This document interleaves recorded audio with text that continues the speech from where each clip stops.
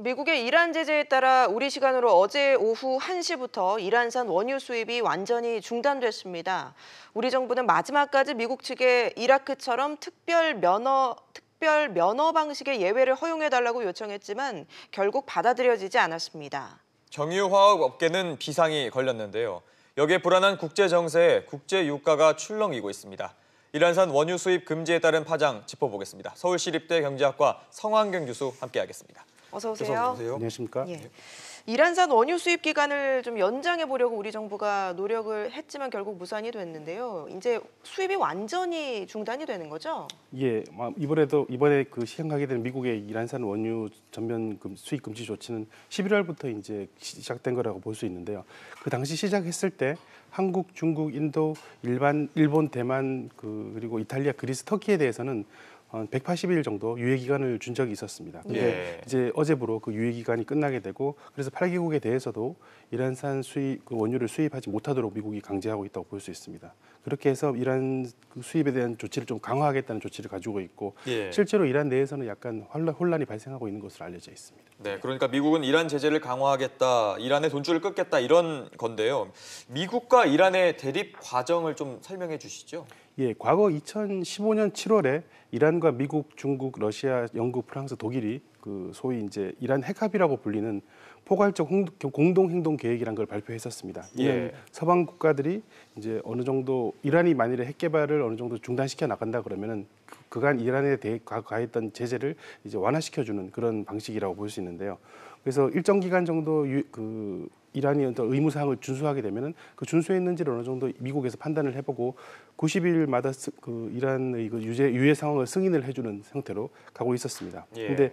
그 과거 그 당시 합의에 대해서는 이스라엘을 제외한 대부분 국가들이 굉장히 잘한 합의다라고 생각을 하고 이행 과정에 대해서 만족스러운 모습을 보였.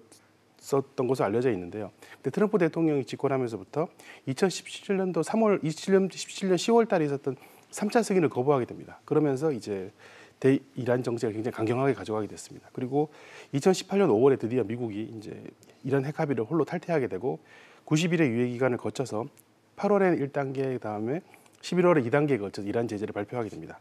1단계 제재에서는 이란 산업과 대외 무역에 좀 타격을 주는 형식으로 그 제재안이 맞춰졌고 네. 2단계에서는 이란산 원유나 그리고 에너지 관련되는 거래를 좀 금지하는 방향으로 맞춰졌었고 그 당시에 8개국이 180일 정도 유예 기간을 인정받은 것으로 알려져 있습니다.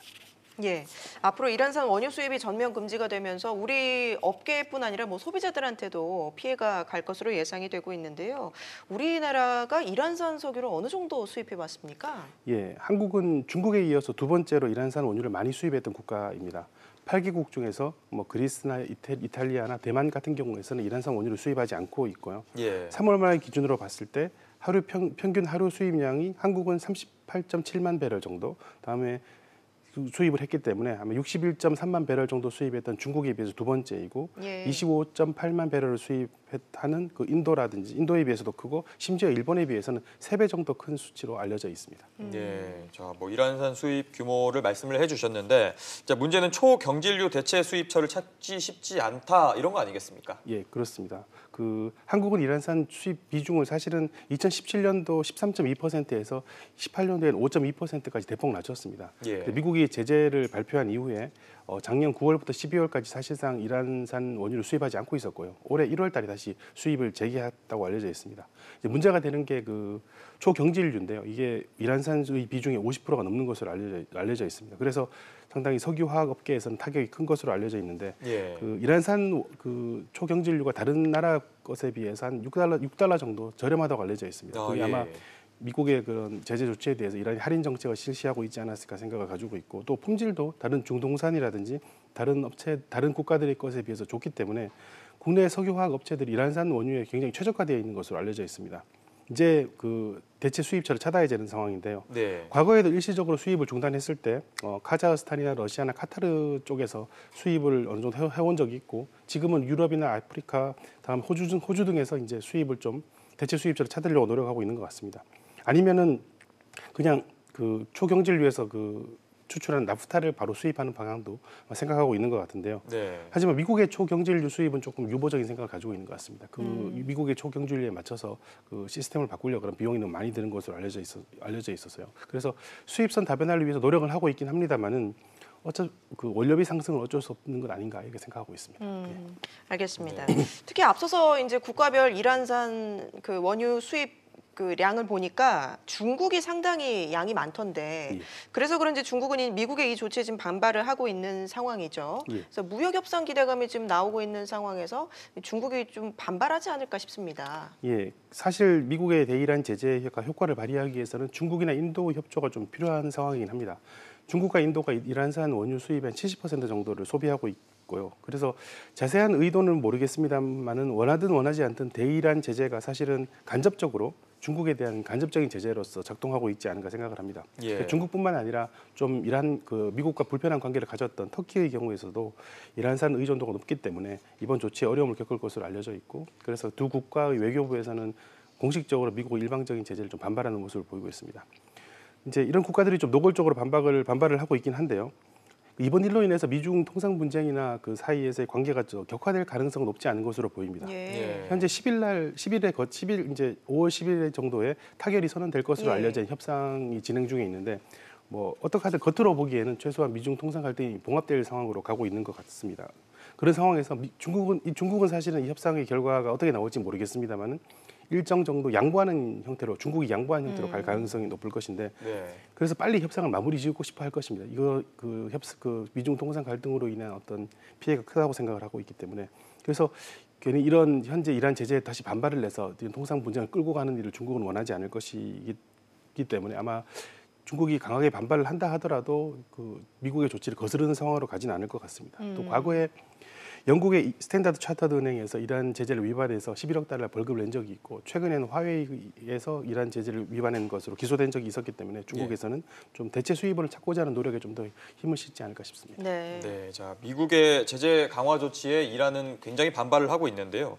호르무즈 해협을 봉쇄하겠다 이런 맞서, 맞대응을 좀 하고 있는 상황인데 이게 과연 미국의 위협이 될까요? 예, 미국의 조치에 대응해서 이란 혁명 수비대 해군에서 호르무즈 해협 봉쇄를 그 경고하기도 했었습니다. 근데 호르무즈 해협이 원유 수입 수송량의 3분의 1 정도를 이제 거쳐가는 곳이기 때문에 실제로 봉쇄가 된다 그러면은 세계 경제에 막대한 타격이 갈 것인 건 확실한 것 같습니다. 근데 예. 과거의 사례로 보면은 이란이 그렇게 무모한 정도 행동을 하지 않을 것으로 보입니다. 또 이란 입장에서는 이러한 제재 조치를 무력화하기 위해서 새로운 원유 수출 활로를 찾고자 노력을 할 것이고요. 실제로 이란의 그 로하니 대통령도 그런 수출 활로를 찾겠다라는 노력을 아마 말씀한 적이 있습니다. 결론적으로 말씀해서 말씀드리면은 이란의 반발이 미국에 큰 위협이 되지는 않을 것으로 보입니다. 만일에 미국의 위협이 되는 상황이 된다 그러면은 결과적으로는 원유 가격이 급등하는 경우인데 예. 어, 미국 그 시아파를 중심으로 한 러시 그 이란과 좀 적대적 관계를 유지하는 수니파의 중그 수니파의 수장 국가인 사우디에서 그 석유 증산을 한다 그러면은 원유 가격의 변동성이 어느 정도 안정화되지 않을까 생각을 하고 있습니다. 예, 이 석유를 생산하는 입장에서, 그러니까 OPEC 입장에서는 감산 정책을 통해서 좀 유가를 높이고 싶어하는 생각도 있을 것 같은데요. 예. 뭐 그런 노력을 지속적으로 해온 면은 예. 있습니다만은 근데 앞서 말씀드린 것처럼 이제 그 이란 그 석유 대- 이런 이란산 원유 수입 그걸로 인해서 어, 제재로 인해서 그 석유 가격이 불안정화되는 것을 미국에서는 별로 바라지 않습니다. 음. 최근에 어, 이 트럼프 대통령이 노골적으로 OPEC의 증산을 강하게 압박을 하기도 했었습니다. 현재 시점에서 보면은 사우디는 사우디나 UAE에서는 충분히 그 증산을 할 수 있는 여력이 있는 것으로 알려져 있고요.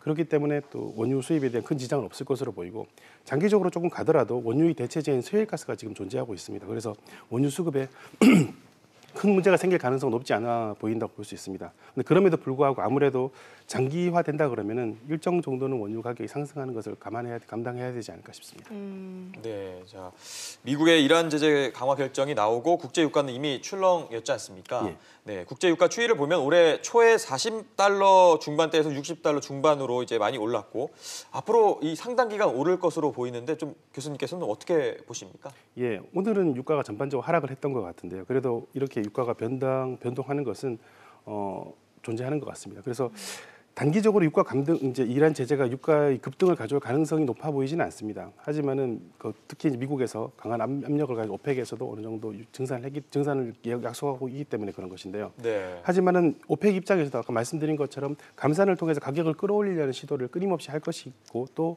이란이 빠져 있다는 어떤 좋은 빌미가 있기 때문에 수급 불균형을 주장하면서 이제 유가를 상승시키기 위한 노력을 할 것입니다. 또 유가란 것이 사실은 수요에 굉장히 강하게 반응을 하는 편입니다. 그렇죠. 현재 미국이나 EU나 중국의 경제가 예상보다는 그 잘 성장하고 있는 상황이기 때문에 그런 점에서 보면은 그 유가를 끌어올릴 만한 상승 압력이 어느 정도 존재하지 않는가 생각을 하고 있습니다. 예. 앞서 우리 업계가 뭐 그 대체할 만한 걸 찾을 것이라는 뭐 이런 말씀도 해주셨는데 우리 정부로서도 좀 대책이 필요할 것 같습니다. 업계나 소비자 부담을 최소화하기 위해서는 어떤 게 필요할까요?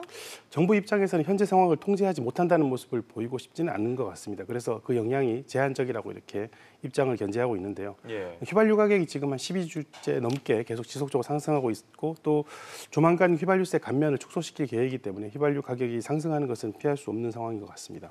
근데 워낙 이게 외부적인 일이라서 정부에서 할 수 있는 대책이 뾰족한 대책이 별로 없습니다. 제한이 정- 있다 이 말씀이시죠? 예, 제약이 굉장히 많이 있는 것 같습니다. 그러니까 정부 입장에서는 원유 수입선을 좀 다양화시키고 다변화시키고 대체 에너지 활용에 대한 지원을 좀 강화한다든지 아니면 피해를 보는 중소기업에 대한 대체 시장 발굴을 좀 지원하는 형 정도로 좀 준비를 하고 있는 것 같습니다. 그리고 뭐 어쨌든 어쨌든 여러 상황에서 보게 되면은 유가가 급등하거나 국내 국- 우리나라 경제에 직접적인 타격을 주지 않는다 그러면은 어, 큰 문제는 없을 것처럼 보입니다만은 그 석유 업계를 중심으로 아마 원유 원료비 상승에 대한 원가 압력은 원가 인상 압력이 지속될 것 같습니다. 근데 제가 조금 걱정스럽게 생각하는 것은 예. 예. 그 혹시나 이란 미국 이란산 원유 수입 금지 조치에 대해서 위반하는 사례가 발생할 경우에서 사실 감당하기 힘든 제재가 발- 다가올 것입니다. 그리고 네. 위반하게 될 경우 secondary boycott을 당해야 되고 아마 그런 어떤 기업이 그런 위반을 당한다 그러면 그런 조치를 당한다 그러면 아마 거의 대외 무역을 하는 것이 불가능한 정도까지 갈 아. 것이라고 생각합니다. 그리고 예, 예. 지금 현재 이란 제재만 있는 것이 아니고 대북 제재도 있고 대러 제재도 있는 상황에서 국제 거래를 하는 기업 입장에서 굉장히 조심을 해야 되는 상황입니다. 근데 대기업 같으면은 그런 국제 거래를 할 때 변호사를 통해서 현지 법무법인을 통해서 어떤 식으로 이런 제재를 피해갈 수 있는 방안에 대해서 많은 고민을 할 수 있는데 중소기업은 또 변호사들을 고용한다든지 법무법인을 활용하는 것에 대한 비용 감당 부분이 있기 때문에 정부 입장에서는 이런 중소기업이 그 제재를 피해갈 수 있는 어떤 방향에 대해서 좀 찾아보는 것도 좋지 않을까 생각을 합니다. 예. 네. 교수님, 소비자 입장에서는 이제 앞으로 유류세 인하폭도 축소된다고 하고 기름값이 더 오르는 거 아닌가 걱정스럽거든요. 예. 뭐 기름값이 어느 정도 오르는 것은 소비자 입장에서는 뭐 감당을 해야 될 상황이라고 볼 수 있고 어 그렇다 하더라도 뭐 급격하게 상승을 해서 이제 그러니까 소비자 입장에서는 좀 그런 기름값이 상승하는 것에 대한 어떤 본인의 소비 패턴을 바꾸는 노력은 해야 되는데 급격한 상승으로 인해서 뭐 전체적인 소비자 물가에 영향을 악영향을 주는 정도까지는 아마 가지 않을 것 같은 생각을 가지고 있습니다. 알겠습니다. 지금까지 서울시립대 경제학부 성한경 교수와 함께했습니다. 말씀 고맙습니다. 감사합니다.